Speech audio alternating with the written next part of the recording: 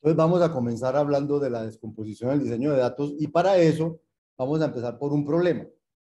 El problema de interpretar expresiones aritméticas. Vamos a, queremos describir un interpretador de expresiones aritméticas.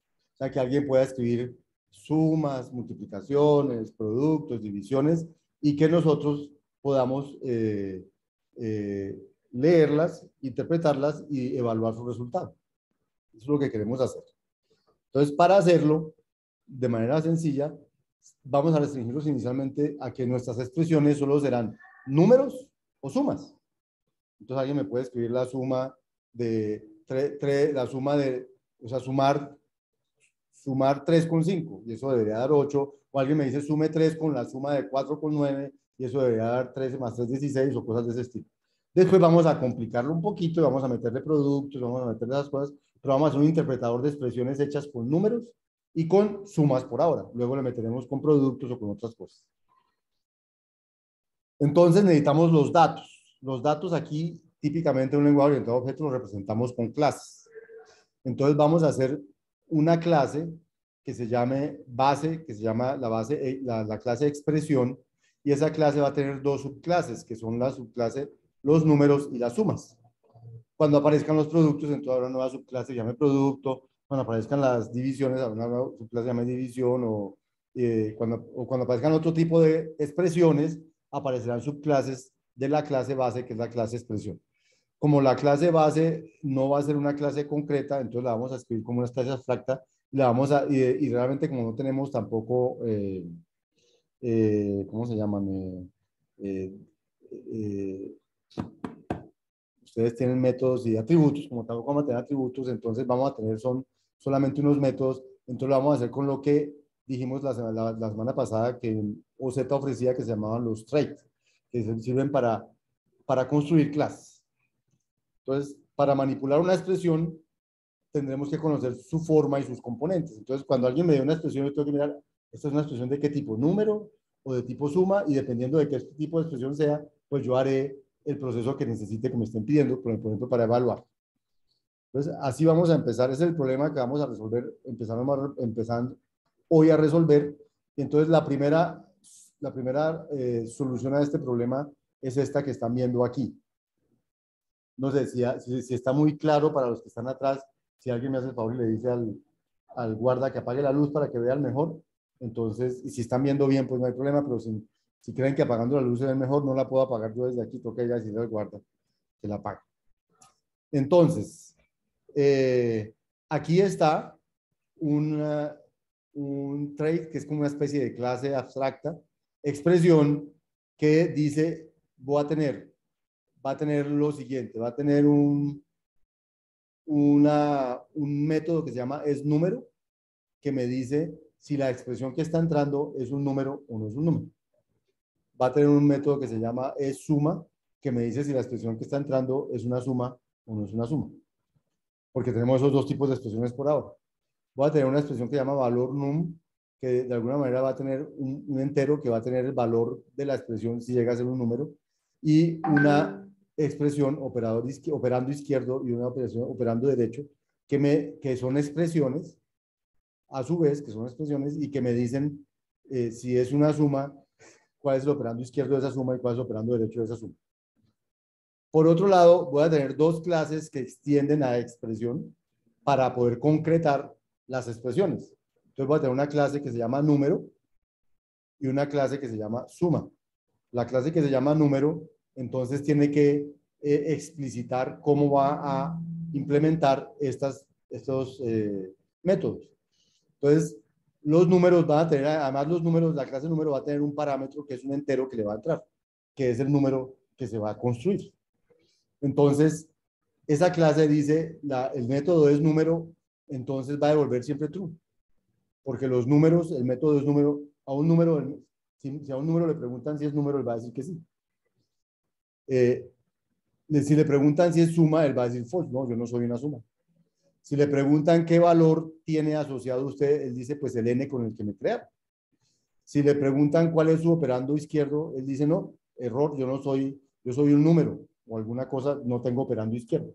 Y si le preguntan cuál es operando derecho, pues dice, error, yo soy un número, no tengo operando derecho. ¿cierto? Por el lado de la clase suma, ella va a recibir como parámetro dos expresiones, el, operando izquierdo y el operando derecho, que son las expresiones izquierda y derecha. Y entonces, cuando a ella le pregunten cuál es, si usted es número, ella va a decir, no, yo no soy un número, yo soy una suma. Pero si le preguntan si es suma, él va a responder siempre true porque las sumas siempre son sumas. Si eh, le preguntan su valor numérico, dice, no, pues yo no tengo valor numérico porque yo soy una suma, yo no soy un número. Y si le preguntan cuál es operando izquierdo, entonces responde la expresión con la que lo crearon izquierda. Y se preguntan cuál es operando derecho, responde la otra expresión que va a ser la expresión derecha. Entonces, esa es como la implementación de las clases número y suma, que van a ser mis datos. Mis datos van a ser expresiones de tipo número, de tipo suma, que implementan esta clase expresión. ¿Hasta ahí vamos? Dime.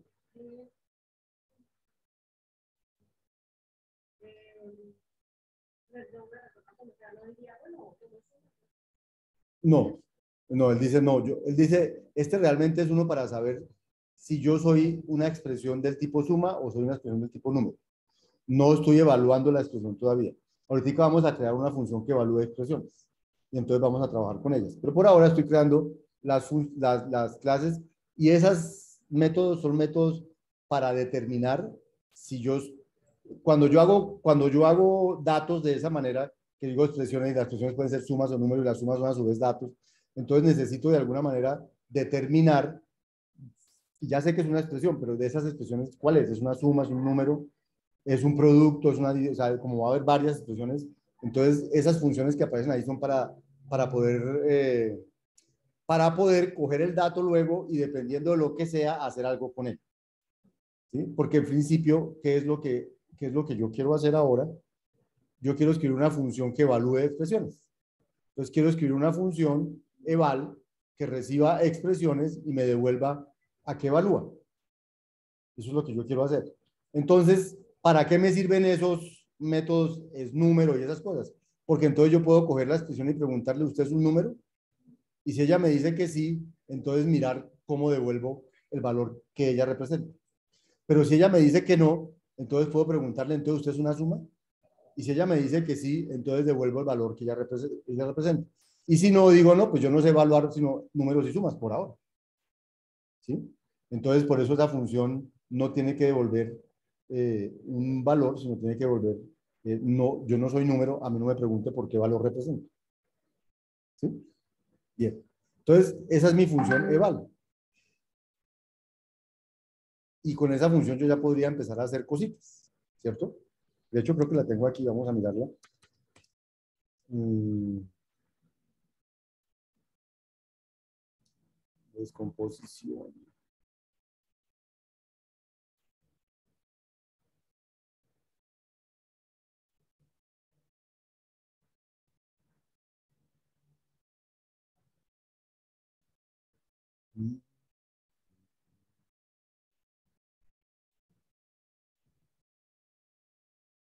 Listo. Entonces aquí está mi clase, eh, mi Thread Expert. Ah, bueno, aquí está con, con producto ya. Y eh, entonces está la función eval. Entonces la función eval, ah, bueno, perdón. Entonces esa es la función eval, pero esta es la función eval que yo haría con esa clase que hay allí, perdón. El problema que tiene definir datos de esta manera es que supongamos que ahora tengo productos y tengo divisiones. Entonces me toca devolverme aquí a la clase extra y poner eh, que ahora hay un es producto. Uy, ahora hay un es división. Y si tengo, no sé, variables, hay un es variable. Me toca poner para cada una de las clases que voy a definir del tipo expresión, de subclases de expresión, me va a tocar definir un, un, eh, un método que me permita determinar si él es de esa clase o no. Porque dependiendo de lo que sea, el valor, la evaluación va a depender de cómo decirles un producto, una suma o una cosa de eso. Pero además, necesito, bueno, de pronto, si es producto, si es esto, un operando izquierdo y un operando derecho son suficientes porque los productos tienen dos operandos. Pero, por ejemplo, si tuviera también la clase, eh, la, la, el menos, o sea, ponerle el valor, cambiarle el valor, cambiarle el signo a la, expresión, la expresión menos expresión. Entonces tendría que tener una expresión que tiene un solo operando, que es, y, de, esa manera empiezo a complicar cómo escribo mis clases y mis subclases y todo tipo de cosas. Entonces, como ese es un problema típico cuando uno trata este tipo de cosas que pueden crecer, entonces la mejor manera de eh, modelarlo no es como estamos haciendo aquí, que es la manera típica que uno haría, sino que lo mejor es lograr eh, construir clases que me permitan reconocerlas fácilmente sin necesidad de escribir todas esas eh, funciones que me reconocen de qué tipo de expresión es. Entonces, los patrones son una manera que se va a crear para poder reconocer cosas que se construyen de esa manera. Entonces, el reconocimiento de patrones es una, una alternativa a no hacer las clases como las estábamos construyendo allí. Entonces, una, la razón por la que uno necesita tantas funciones para clasificar y para acceder a los, a los daticos de esas, de, esas, eh, de esas clases es poder reversar el proceso de construcción de la expresión.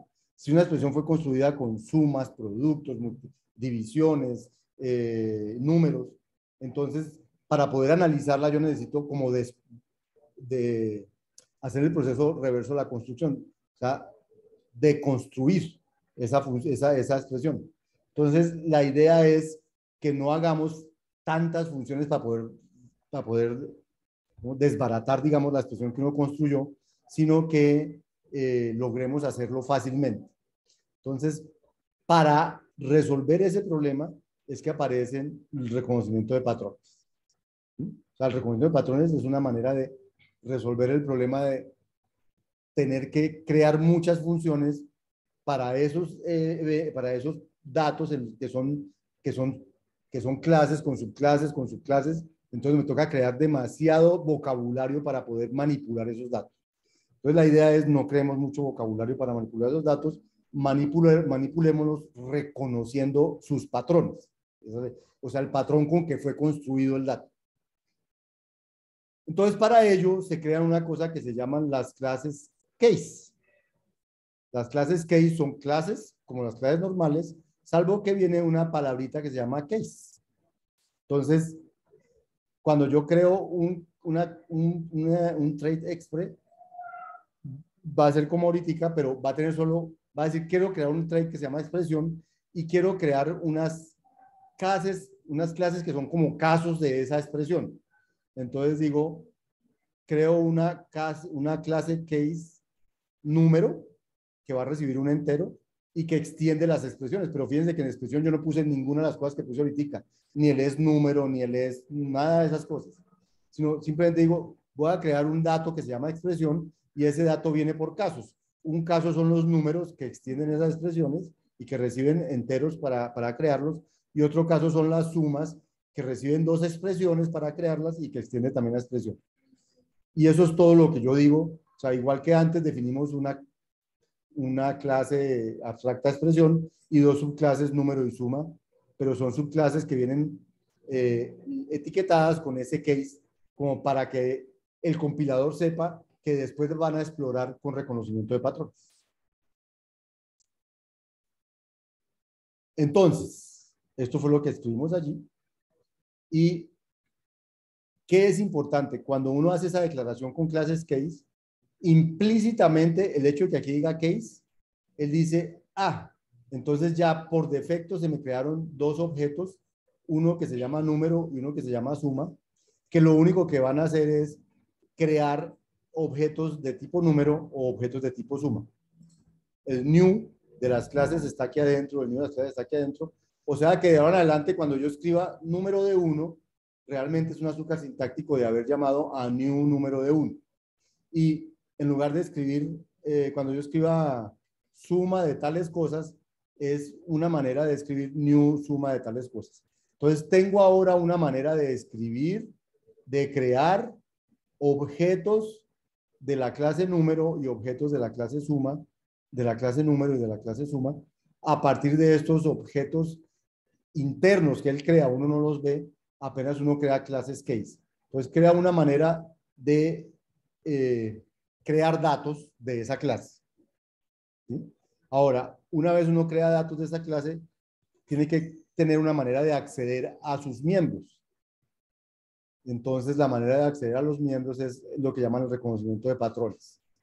Es una generalización del switch, pero el switch realmente es mucho más que un switch. Vamos a ver qué es una generalización del switch. El switch es el que le permite, o el, que le permite a uno decir, si el, el dato dio 2, entonces haga tal cosa, si ese dato es 3, haga tal cosa, si ese dato es 5, haga tal cosa. Aquí es algo parecido, pero no le vamos a decir el dato es un 2, es un 3, es un 5, sino si el dato cumple con un patrón. Entonces, si ese dato cumple con este patrón, entonces haga tal cosa, si cumple con este patrón, haga tal cosa. Y cumplir con un patrón es haber sido construido de cierta manera.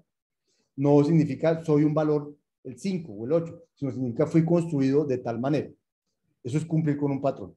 Por ejemplo, ah, bueno, entonces en escala el reconocimiento de patrones se implementa con una cosa que se llama match, con una, una expresión que se llama match, y que, y, que, y que tiene al lado izquierdo una expresión y al lado derecho del match unos casos, así como el case. Solo que aquí viene el case, aquí va a venir el case asociado a las clases case. Entonces la función evalúe una expresión, ¿cómo se va a escribir? Se dice, coja la expresión y haga el reconocimiento de patrón de la expresión. Ese es el match. Entonces dice, si fue creada como número de n, entonces haga tal cosa.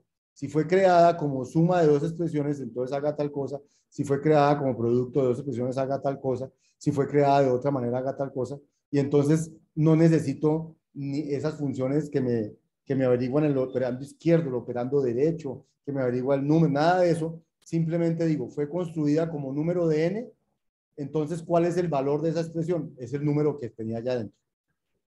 Si fue construida como suma de dos expresiones, entonces, ¿cuál es, qué valor representa, a qué evalúa? Evalúe la expresión 1, evalúe la expresión 2 y luego súmelas.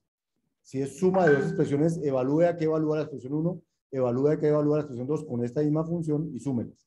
Si esta expresión era una expresión de productos, de cosas, pues él recursivamente la va a evaluar pero yo no tengo que haber en las clases haber definido todos esos métodos para poder, para poder desbaratar la expresión original.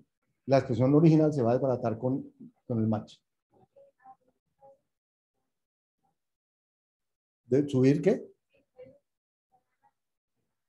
La, la diapositiva anterior. Thread significa en español sesgo. En escala uno puede crear clases abstractas, pero las clases abstractas solo pueden heredar de un, de un rasgo, de un sesgo, de un, rasgo, rasgo, perdón, de un rasgo. Entonces, en, en, escala, para poder hacer una especie de herencia múltiple, pero que no es herencia múltiple, sino que es una herencia especial, entonces ellos crean lo que llaman los, rasgos. Entonces, una clase puede heredar de muchos rasgos, pero solo de otra, solo de otra clase. Entonces, la herencia es simple en el sentido que solo puede heredar una clase, pero uno sí puede heredar de muchos eh, rasgos. Pero para efectos de este curso, haz de cuenta que es una creación de una clase. O sea, es una, es una clase, es una clase de cierto tipo especial en un set, en escala, pero es una clase. Entonces aquí está diciendo, creo una clase abstracta que se llama extra sin nada por dentro. O sea, creó una clase que se llama extra. ¿Para qué? Para poder crear subclases de ella. Pero las subclases van a ser subclases eh, caso, subclases caso. Entonces dice, los números van a ser, entonces para poder decir que son del tipo extra, tanto número como suma, como los otros van a ser de tipo extra, entonces son expresiones, todas son expresiones. Pero pueden ser de diferentes clases, puede ser de la clase número, puede ser de la clase suma o de la clase producto, pero todas van a ser consideradas como extra, que es la, la clase padre de todas ellas. ¿Listo? Laura. Entonces, la clase número es una subclase de extra, porque aquí la extiende. La clase suma es una subclase de extra, porque aquí la entiende. Entonces, cuando yo digo que a suma le entran expresiones, quiere decir que le pueden entrar números o le pueden entrar otras sumas. Y cuando aquí en la siguiente, eh, ahora sí, no, ahora sí voy a volver aquí al, al este.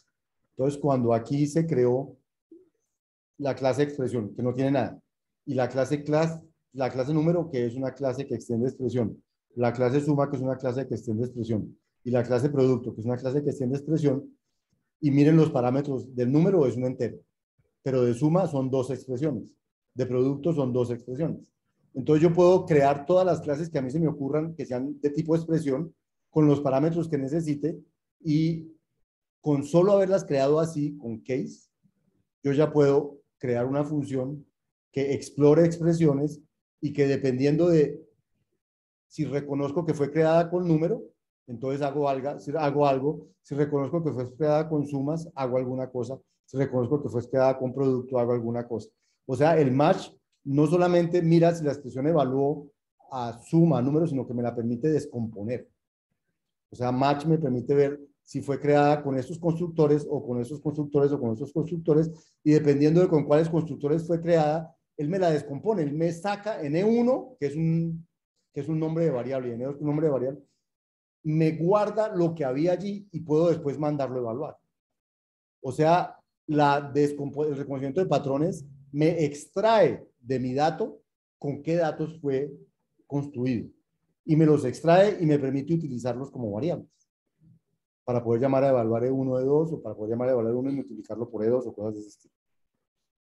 Eso es reconocer patrones. Es, eh, el match me permite reconocer con qué clases case fue creado un dato. Pero entonces, si yo tengo un dato que puede ser de diferentes tipos, producto, suma, no sé qué, entonces creo una clase case que tiene esos diferentes clases, subclases que son de los tipos de datos de esa expresión.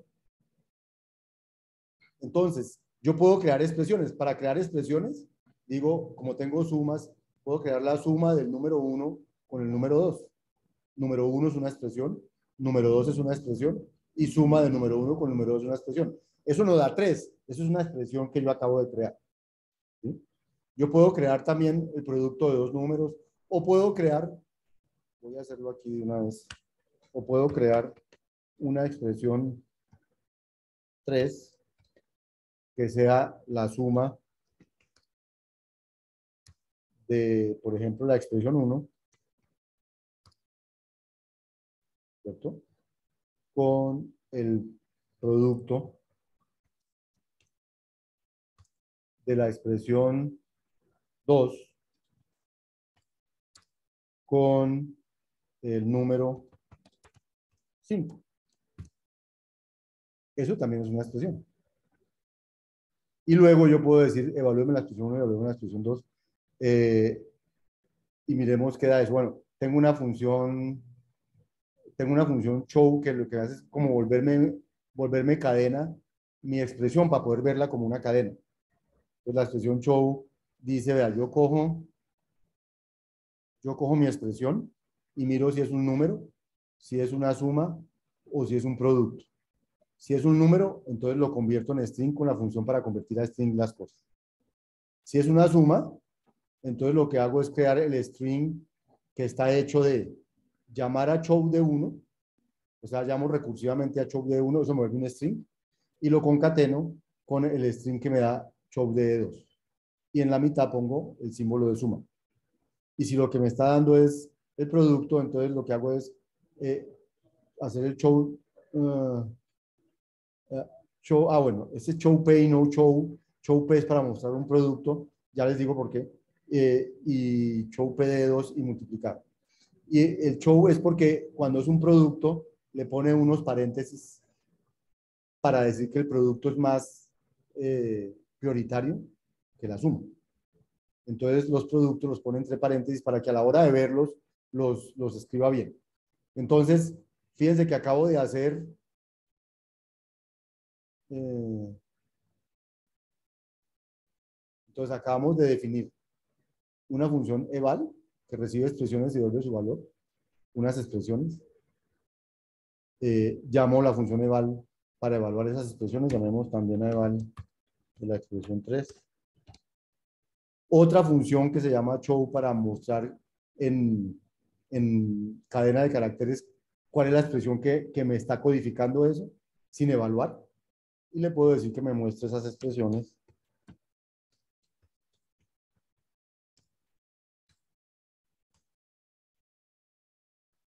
Ah, aquí había una XP3. Entonces pongámosle a esta otro nombre para que no me confunda con este. Ah, esta XP3 quitémosla de aquí entonces.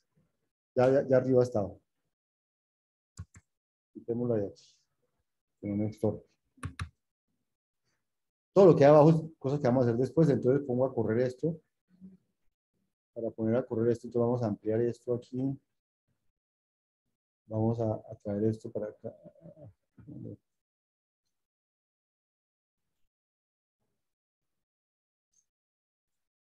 Bueno, la primera vez que esto va, ya listo. Entonces, creó una clase expre, creó la clase número, la clase suma, la clase producto, luego creó la función eval, que devuelve un entero, luego creó la expresión suma, entonces dijo, mira, la expresión suma es suma del número 1 con el número 2, o la expresión producto es producto del número 1 con el número 2, ¿cierto? O la expresión, la tercera expresión es la suma de la suma del número 1 con el número 2, porque es, eh, bueno, listo, salen estos resultados, luego mandamos a evaluar la expresión 1, entonces evaluar la expresión 1, él dijo, ah, es una de tipo suma, entonces tengo que evaluar lo de adentro, tengo que evaluar lo de adentro, evaluar número 1 le va a dar 1, evaluar número 2 le va a dar 2, él dice es un número, y un número es lo que decía aquí adentro, le va a dar 1, esta le va a dar 2, y luego entonces ya evaluó la de la izquierda y evaluó la de la derecha, entonces dice sume los dos y me da 3. Y ese es el 3 que aparece aquí. O esta multiplicación de estos dos números da 2. O esta suma que va a dar la suma del 1 con el 2, que da 3. Y sumado con el producto de, el producto de, que daba el número 1 con el número 2, que daba 2. Entonces esto daba eh, 3, esto daba 2 y la suma de 3 Ah, aquí era el producto de 1 con 2, que da 2, con 5 da 10, y ese 10 sumado con este número que daba 3, da 3. ¿Listo? O sea, ya está la función que evalúa expresiones. Si quiero incluir más expresiones, entonces simplemente tengo que agregar otras clases, clases. Por ejemplo, agreguemos la expresión variable para poder poner variables. Es decir, puedo crear una variable con un nombre, eh, la variable va a tener un nombre que es un string, que va a extender la expresión, y entonces internamente cuando se crea, ¿qué hace? Se crea con un valor cero, aquí hay un var, no un val, entonces en OZ, var es cuando voy a tener las variables que ustedes están acostumbrados, las que se pueden cambiar. Val son las que no se pueden cambiar de nombre, las val son inmutables, las var son mutables. Entonces, esta clase es para crear esas variables que ustedes están acostumbrados, las variables que pueden tener diferentes valores. Entonces, él va a tener como un atributo que es su valor, va a tener un método para asignarle un valor que lo que hace es cambiar ese atributo por otro valor y, tiene un método que se llama BLR que me devuelve qué valor tiene guardado el ahí. Esa es la clase, la clase case. Está hecha con algo que no usamos en el curso casi, que es var simplemente para mostrarles que se puede usar, pero no nos interesa estar haciendo eso. Solo es para mostrarles otro tipo de expresión que son las variables. Y entonces cuando yo creo variables, tendría que extender mi función de evaluación para decir qué tiene que hacer para evaluar, para evaluar una variable. Pues si es mi variable eh, de un string, eso es esa es la expresión que yo encuentro, es hecha con variable. Entonces, ¿cómo evaluaría esa expresión? ¿Cuál sería el valor asociado a una variable? Sería su valor que tenga guardado allí, ¿cierto? Entonces, yo podría hacer cosas como esta, como eh, llamar a coger la variable, ¿cierto? S, que es un string, y, eh, perdón, no, coger, eh, si la expresión es de la forma var de S, ¿qué tengo que hacer yo con esa expresión? Tengo que invocar el método BLR. O sea, tengo que coger la expresión que es de ese tipo e invocarle el método BLR Dios mío. Eh, tengo que coger esta variable. si la expresión es de tipo variable, espérense, antes de hacer esto voy a hacer una cosa. Voy a crear una expresión de tipo variable. Eh,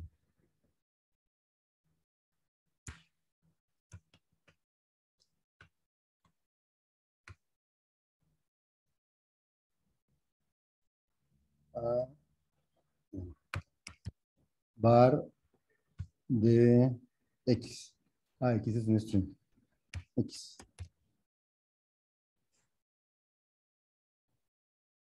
¿Cierto? No, ah, no, var no, porque var es una palabra restringida que va a ponerle un nombre b. b igual a var de x. Sin. ¿Y qué podría hacer yo con una, con una expresión de esas? Yo debería poder hacer, bueno, primero miremos de qué tipo va a quedar. Entonces B es de tipo var. ¿Cierto? ¿Qué es esta clase? Entonces, si es de ese tipo, yo debería poder hacer cosas con ella, como por ejemplo, preguntarle su valor. O sea, llamar al método valor. Entonces, el valor es cero, porque debo poder hacerle cosas como a B, el método asignale, digamos, 5.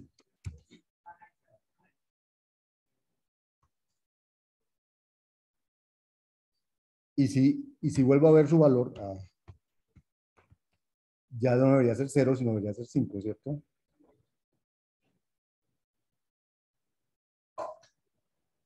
El valor es 5. Entonces, eso puedo hacer con las variables. Entonces, las variables las debo poder utilizar en... Las debo poder utilizar en mi eval. Entonces, como es un case, entonces si es de tipo var, tipo var, yo debería ¿qué debería devolver? Debería devolver el valor que tiene asignado allí. Y valor me lo devuelve el método valor, pero no sé por qué no lo puedo invocar. Le parece que está mal. ¿A alguien se le ocurre qué debo hacer? Tengo que invocar el método valor de... Um,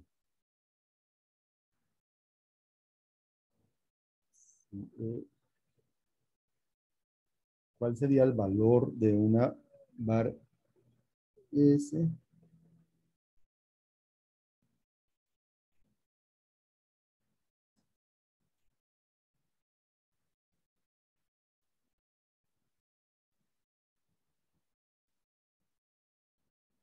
Bar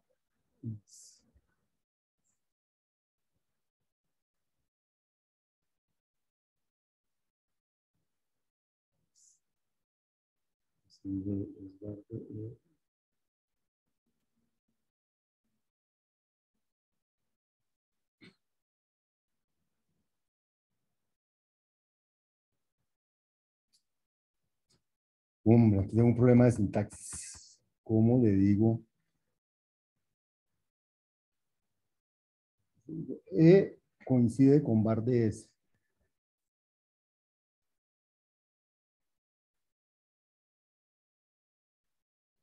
Entonces no me deja, no me deja invocar su valor. Eso es lo que me molesta de esta cosa.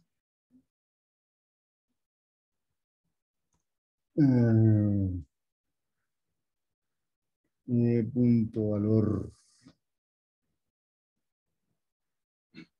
Necesito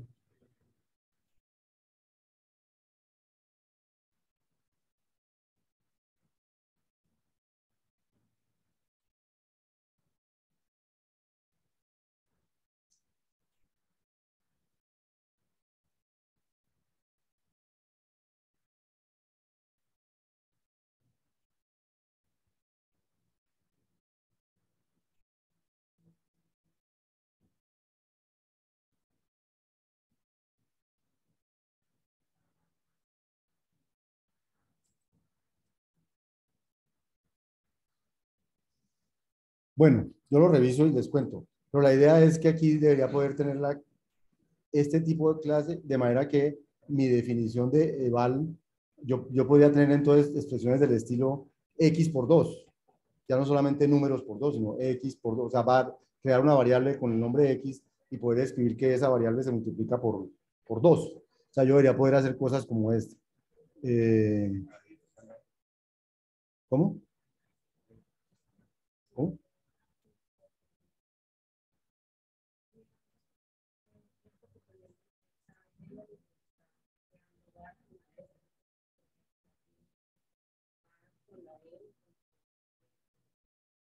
Pero, ¿cómo así?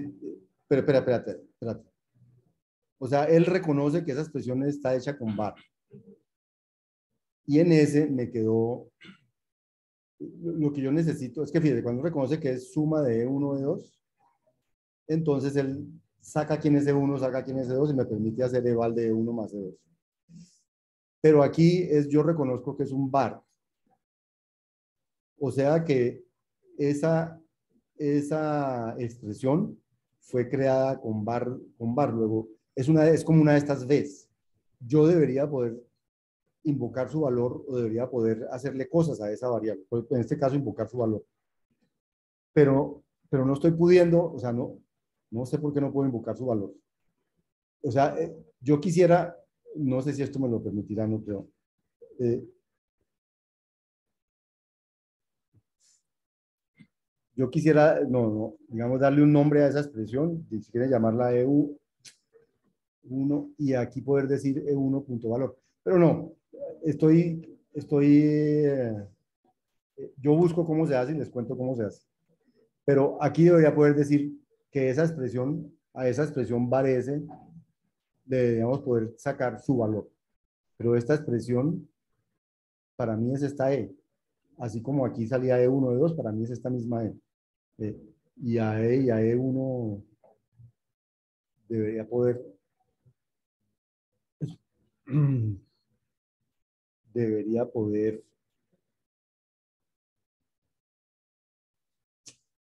bueno, no, no quiero seguir perdiendo el tiempo aquí en esa, pero por ejemplo, si aquí yo quisiera poner E1.blr,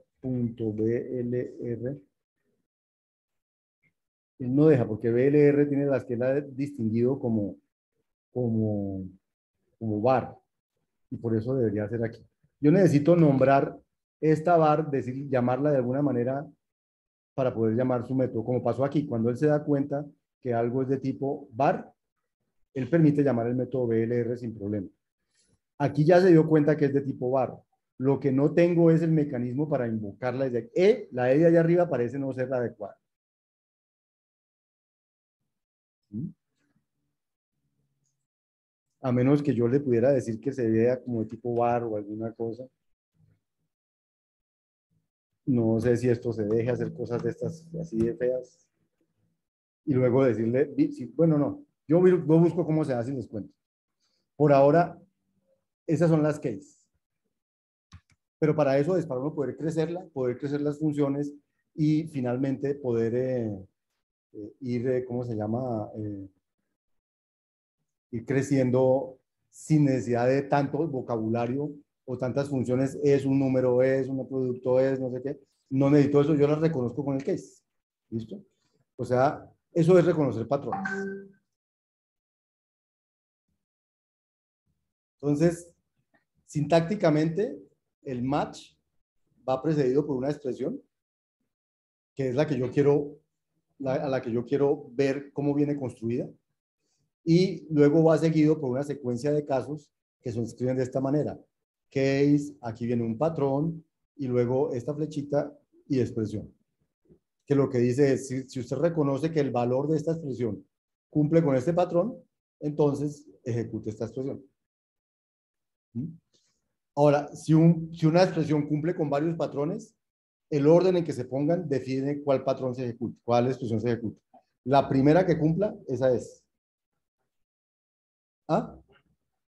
No, no, entra por varios. No, el case es, el case va como en este orden. Mire si esa expresión es un número. No, entonces mire si es una suma. No, mire si es un producto. si es una suma, entonces haga esto y ya acabó. Ya no tiene que volver a mirar si es otras cosas. La primera que sea, esa es. En principio uno trata de poner aquí excluyentes, porque si es lo uno no es lo otro, si es lo uno no es lo otro. Pero si usted pone dos cosas que no son excluyentes, él va a coger la primera y coge la primera. Si, si la expresión puede, cumple con todos los patrones, coge el primero. Y por ahí se sale. Él, solo, él va, él va evaluando si cumple con este patrón. Si sí, entonces hace esto. Ya no evalúa nada más de lo de aquí. Si no, entonces evalúa el segundo patrón. Si cumple con el segundo patrón, entonces evalúa el de la derecha. Cuando evalúa el patrón, él mira si tiene esos nombres de variables como hay aquí, E1 y E2, y no solamente mira si cumple el patrón, sino que en E1 y en E2 guarda los valores que le hicieron reconocer ese patrón. Por eso los puede usar al lado derecho. Bueno. Eh, si el resultado de evaluar E no cumple con ningún patrón, entonces va a salir una expresión, una, una excepción que dice match error, no me, no me cuadró con ningún case. Bien. ¿Cómo se hacen patrones? Entonces los patrones se hacen con los constructores de objetos. Entonces yo puedo hacer un patrón con número de algo, con suma de algo, con los constructores de objetos. Pero ¿qué puedo poner en esos constructores de objetos? Puedo poner, por ejemplo, variables. Puedo poner número de n o número de E1 o número de E2 o suma de E1 o suma de E2. Puedo poner nombres de variables.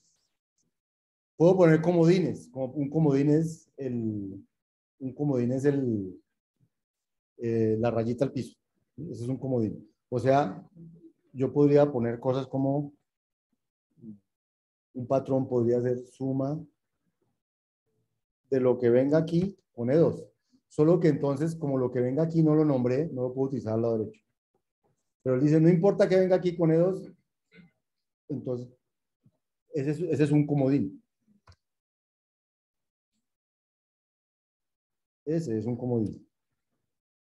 O puedo poner constantes, como el 1, true, cosas de ese estilo. Una variable en un patrón siempre empieza por letra minúscula. ¿Listo?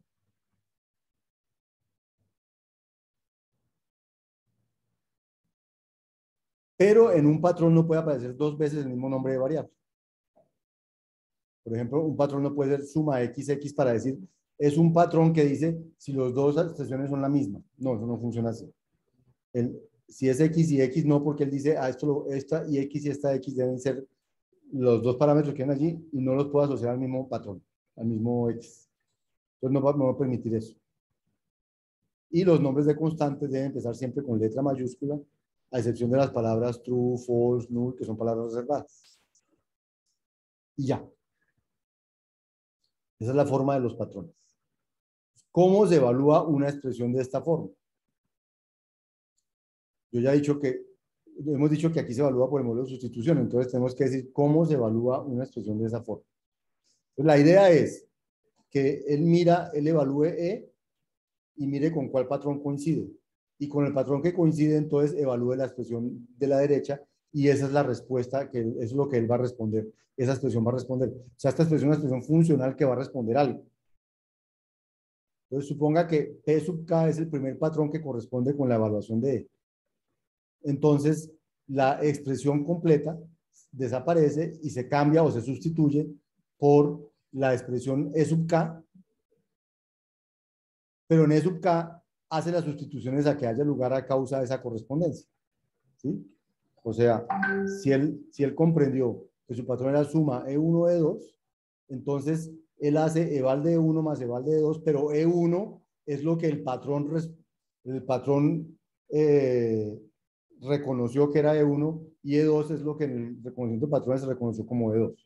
O sea, estos, estas E1 y E2 ya vienen instanciadas y se evalúan y se ponen aquí como fueron reconocidas.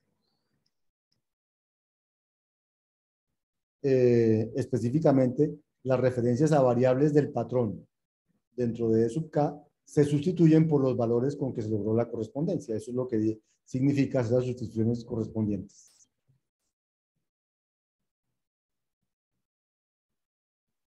Listo. Eso es en general.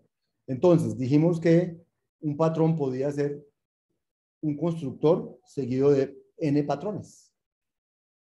Entonces, eso significa que él tiene que, el valor que él tenga, se tiene que, se tiene que ser construido con el valor del tipo que se menciona allí. Y luego cada uno de estos argumentos deben corresponder lo que venga en el... Esta, eh, este suma de expre1, pro de expre2, cuando él es reconocido como, un, como una suma de E1 con E2, entonces E1 es, es, es, es asociado a expre1 y E2 es asociado a esta señora. ¿Cierto?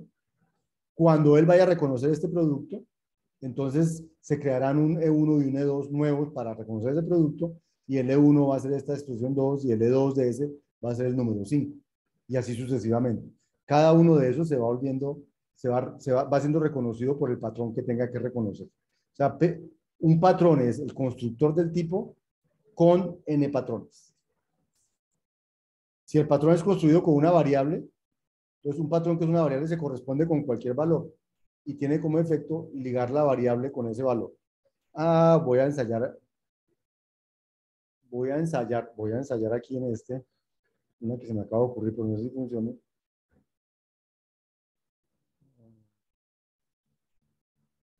Como ya no fue ni suma ni producto,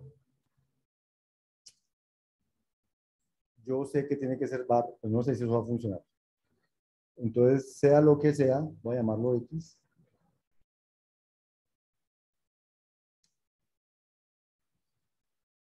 No, eso. Hay que averiguar cómo es. Hombre. Bueno, sigo, sigo pendiente de esa tarea. Entonces, ligar la variable de.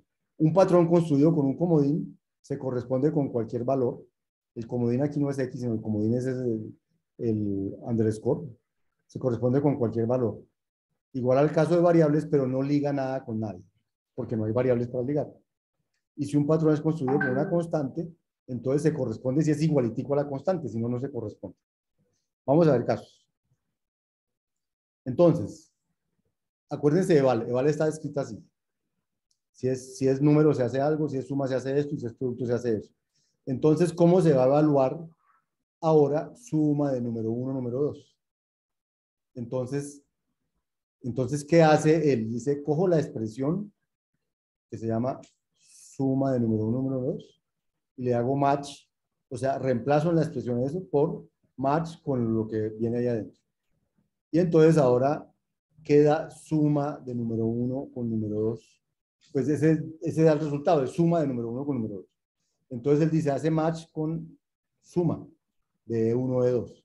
Entonces él dice, E1 es número 1, E2 es número 2, y lo que devuelvo es E vale 1 más E vale 2 o sea, va a devolver eval E1, que es número 1, más eval número 2, que es E2. O sea, a eso, este suma de número 1, número 2, match todo esto, va, a, va, va a, en la sustitución va a quedar sustituido por esto. Eval número 1 más eval número 2. Luego, luego el, ¿qué es eval número 1? Eval número 1 es reemplazar aquí E por e, número 1 match todo eso. Y este más eval número 2 quedó aquí. Está pendiente de hacerse. Entonces, número 1 match con todo esto, eh, hace match con este. Y cuando hace match de 1 con número n, devuelve lo que dio n, que es 1. Entonces, él va a volver 1 y queda pendiente más eval número 2. Eval número 2 va a devolver 2 y va a quedar pendiente ser 1 más 2 y va a terminar haciendo 3. Ese es como Así se evalúa un match. Evalúa el valor, luego mira con quién hace match y termina reemplazando con lo que tiene que hacer y evalúa eso. ¿Listo?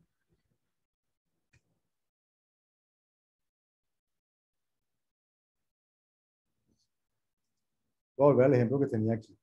En este ejemplo, en este ejemplo, eval era una función por fuera de la clase. La clase expre tenía eh, no tenía nada, la clase class no tenía sino la forma de construirla, suma la forma de construirla, producto la forma de construirla, y luego empecé a hacer funciones para trabajar con esas expresiones. Esas funciones estaban afuera de la clase. Uno podría muy bien, uno podría muy bien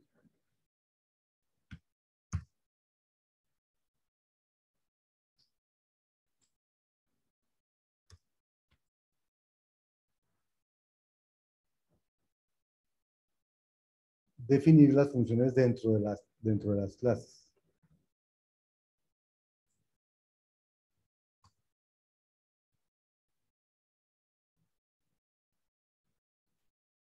O sea, decirle a escala que mi trait expre sí tiene una función, que es la función de evaluación, y tiene otra, que es la función de mostrar como cadena la, la expresión.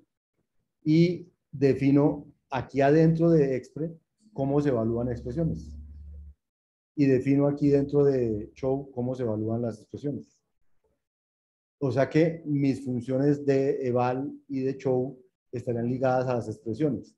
Y entonces, cuando yo los quiera invocar, ya no hago lo que hacía aquí, que era eval de una expresión, sino lo que hago es coja la expresión y ahora el método eval es un método de expresión, entonces evalúe el método eval. ¿Sí? O sea, las funciones podrían estar dentro de las clases y ser, de, ser parte de ellas. La función eval ser parte de las expresiones, la función show ser parte de las expresiones. Lo interesante es que por ser unas clases case, esta función, esta función, este expre que no sabe cuántas case va a haber, ya puede, ya puede implementarlas. El día que se crezca case con, con, con mis eh, variables, como yo puse allí, pues aquí va a tocar crecer la función eval con ese otro caso. ¿Listo? Eso es reconocimiento de patrones. Entonces, ¿qué tiene que quedarles? ¿Cómo se evalúa? ¿Qué es reconocer patrones? Reconocer patrones es evaluar una expresión y mirar con qué patrón fue construida. Mirar con qué patrón fue construida me permite saber de dónde viene y con qué variables le fueron ingresando. Entonces yo la puedo ir desbaratando poco a poco sin necesidad de tener funciones que me las desbaraten. Entonces no necesito tanto léxico para poder desbaratarlas. Las voy, las voy desconstruyendo de la misma manera como las fui construyendo, o al revés de como las fui construyendo.